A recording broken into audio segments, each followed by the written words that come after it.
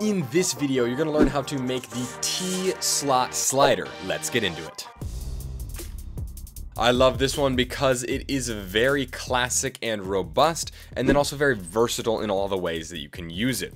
The first thing you need to decide when you are making a slider like this is the width and length of the actual sliding part of the mechanism. The wider you go, the more room you will have for the top pieces, the top guides, to hold down that slider, making a little bit of a stronger connection. If you made the slide in the center too thin, these top guides would have a hard time getting a good grip on it without coming super close together. If you end up going really wide, perhaps your slider is the same size as this base right here, you might actually want to make it a little bit more durable by adding another layer of cardboard and making it two layers thick. But if you're about an inch wide, I've found that that is pretty easy to work with. Concerning the length of your slider, the longer you make it, the more stable and durable it is going to be, but it's going to have less range of motion.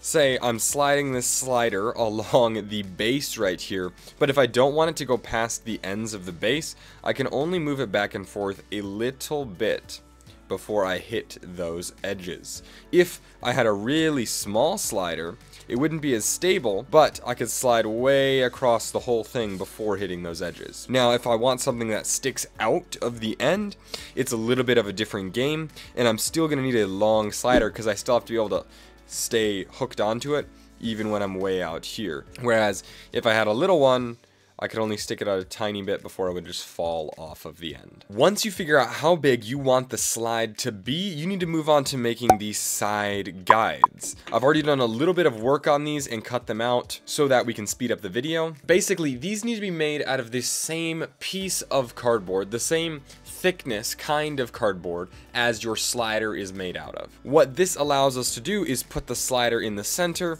put our cardboard pieces on the side and they're going to sit perfectly flush. We don't have to worry about cutting them to the right height. All we need to make sure we do is cut this front edge really flat and straight. Unfortunately, the trade-off here is because we're now standing on the corrugation, we need them to be a little bit thicker than if we had cut them upright like this. So if you want to go for it, you can measure the thickness of your cardboard. In my case, it's about an eighth of an inch and then cut an eighth of an inch tall piece of cardboard to get the absolute thinnest side guide. You'll notice that I also put a piece of paper down the inside of this to reduce the friction a little bit. Just be sure that when you're gluing this paper on, you do it very carefully, especially if you're using hot glue, and you don't get like globs of glue making it super bumpy. Now I'm going to position the slider with the side guides in the center of my base, and I don't want to squish them together super hard when I'm doing this alignment because that would make it really hard for the slider to move up and down. Maybe you could do that if you wanted sort of a tension fit that would hold its place. This is also where it's helpful to have a long slider because I can make sure that they are flat. If I had just a tiny little slider, it would be hard to get them perfectly flat and I might end up with an angled shape where it slides too freely at the top and it's too tight at the bottom. So if you end up with a really small slider, maybe try making a larger template that's exactly the same to help you with this alignment.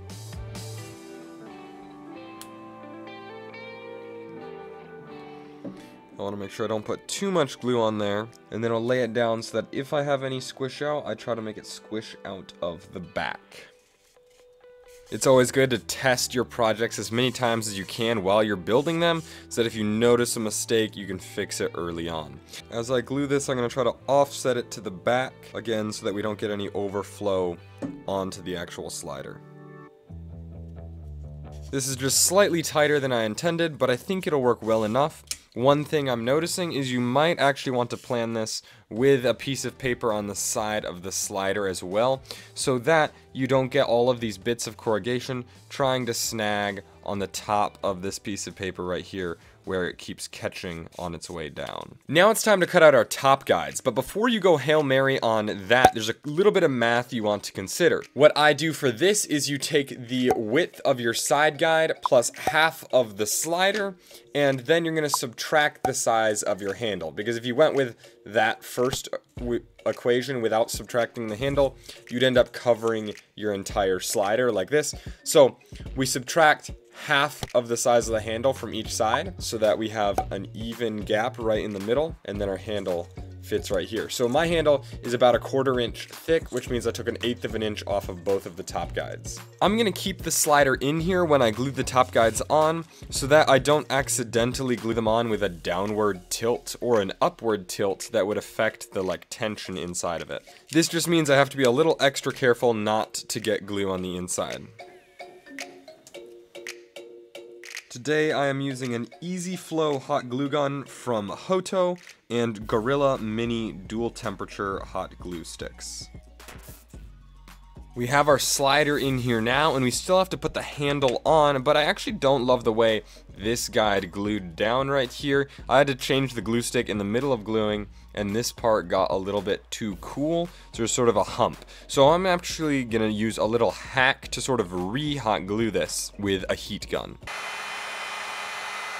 So this is a little bit of a tricky thing to do because it melts all of the glue around the area that you're blowing the heat, so you have to be careful not to accidentally adjust something else. However, it does bring up the point that if you wanted to sort of adjust the tension on your slider after you'd glue these together, if you had a heat gun and maybe a hair dryer would work too, but I don't have one to test with, you could sort of change how tight it is inside of there. I made my handle two layers thick just so it's a little bit more durable and so that I have more surface area to to glue on the bottom. Instead of using a bunch of measurements, I'm just gonna put my slide inside of here and glue it on while it's between those guides. To make this connection a little bit stronger, because there's going to be quite a bit of force going through here, I can't really put any glue along this edge right here or this edge because those are rubbing against my top guides but I can add some right here for more strength. If you have sort of a big blob and want to control it, you can always sort of lick your finger and manipulate the hot glue. Our slider is almost finished, but it's time to tune it up and make a couple little adjustments with the heat gun. If you don't have a heat gun, that's okay. Just be a little bit more careful as you're making things, and you can sort of sand things down and trim little bits off once you're done. The heat gun is just a little bit more of a like holistic, cleaner way to do it, so I don't have to like cut little shavings off of things. What's happening is my handle piece is rubbing up against the side of my top guide right around this point, and it gets really harder to push. I could have left more clearance between the top guide and my handle, which I would have been able to do more easily if I had made a wider slider. But for this, we are just going to use the heat gun and make this all slide back just a little bit right there. So we have a smoother, more consistent motion across the whole path now. You might have just watched this video and thought that, gee, that takes quite a while to build and takes a lot of pieces of cardboard.